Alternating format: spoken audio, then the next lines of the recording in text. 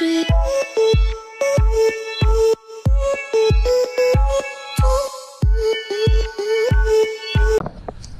let's get this car up and running. It's actually another day. So let's get this car up and running. It's been sitting for a couple of days. Um, reason being is because I've been working 10 hour shifts today. I got out early a little bit. I did an 8 hour shift. So I was here home a little early. So gives me a little time to work on this car and get it up and running. Um, last time we left off, the motor mounts were already in. Um, one of the axles is already in. Uh, I just need to put in the other one and put everything back together. So that's what I'm gonna do. Try to knock out as much as possible right now and start working it little by little after work. You know I need to get this car up and running. So I'll start with the axles. I'm gonna do this axle. Uh, the other axle's already in. I just gotta put the hub assembly back on. It's kind of dark.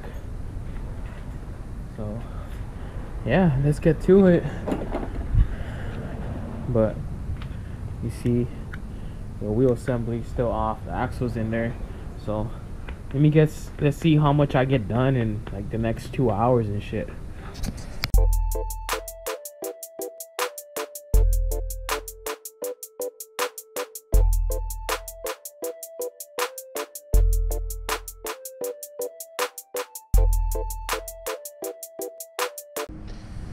so this one's already done. I just need to put the wheel. I put the ones for the strut and the ones for the tie rod and i put the axle. Uh not gonna put the wheel because i think i need to put one of the headers bolt the bracket. I didn't think i put it. I'm gonna move on to this one. The axle's already bolted on. I just need to put the hub back in place. So let's get to it right now. Move all this stuff over there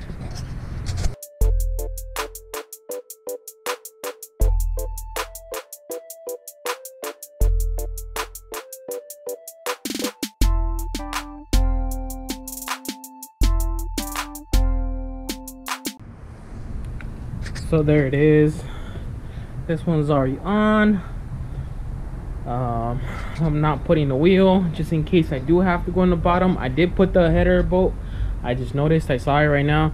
So I'm just gonna pull all this wire harness everything the cables and stuff like that back together and hopefully I'm able to turn it on tonight um, which I doubt it.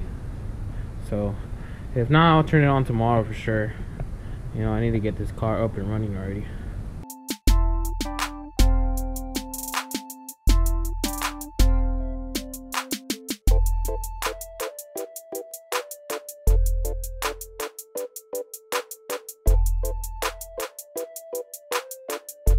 So there, I, I'm gonna stop here. I did both the hubs here, this one and that side over there.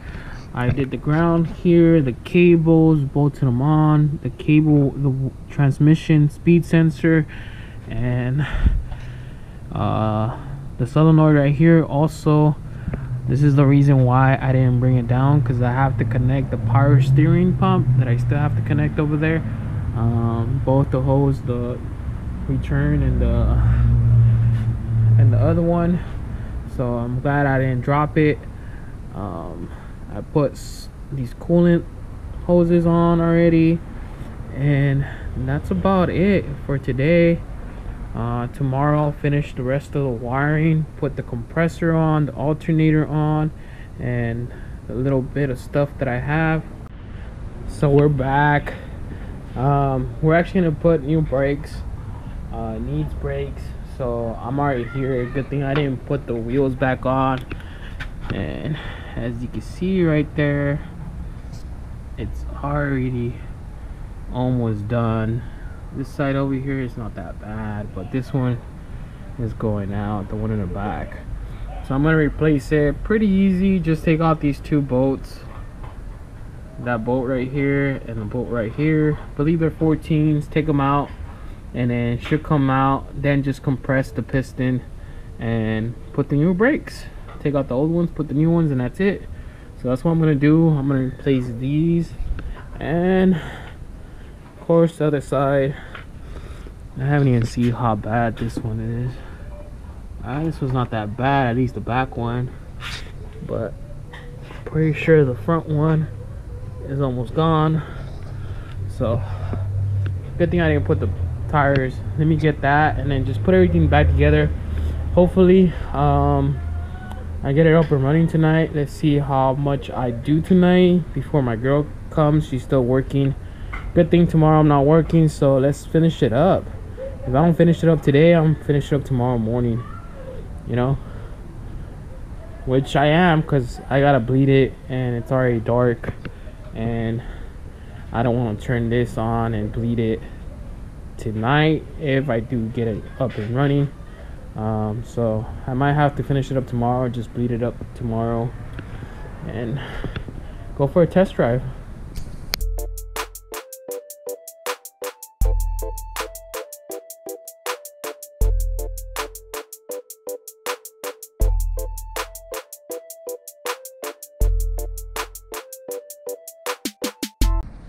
So there it is. New pads are in and the piston is already compressed all the way back. These are the new ones and those are the old ones. They already were out. Check it out. Basically didn't have that much life anymore. This one had a little bit but surprised they were not um, squeaking anymore since they didn't have the little bar. But, oh well, good thing I caught on to them before it messed up my rotors. So let me finish up this side and then move on to the next one.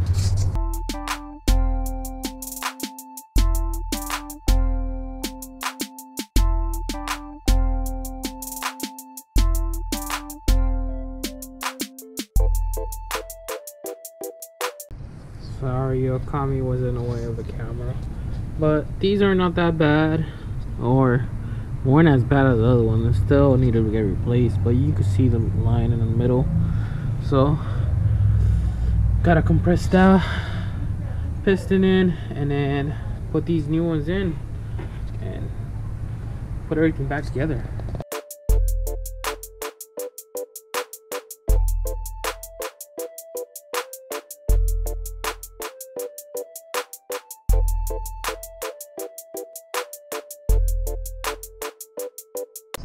Brakes are done. Now to work on the motor over here.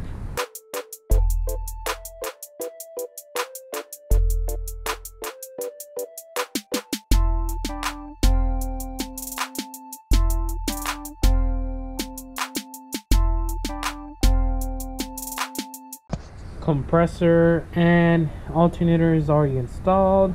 All the wiring to the starter um, sorry install same thing here. I just need the manifold. Uh, I'm gonna do a belt but we're putting a new belt uh, don't use this part number because this one's for the MWR pulleys if you have the water and the alternator. So if you have that you could use this one. I'm gonna put that on. And then intake manifold and the reservoir intake. And I still haven't done the ones in the back yet uh, the power steering pump and then the air pump. That's all that's left. I connected the ECU uh, need to do the fuel rail. I did put some OEM injectors. It had those aftermarket so yeah.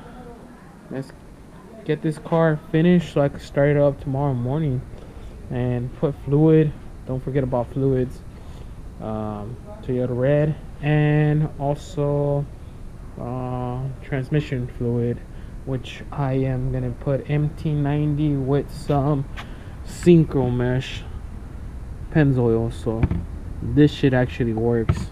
It will help you with the synchros and the grinding. So I am gonna put MT90 I believe I have there it is the MT90 I have. I always have extra. So let's get ready to do all this. And yeah I forgot. I did torque the knock sensor. It is very crucial you do um, torque it. This one is 15 uh, the other one is like 33 I believe. This is the 02 and plus. The other one's like 33. This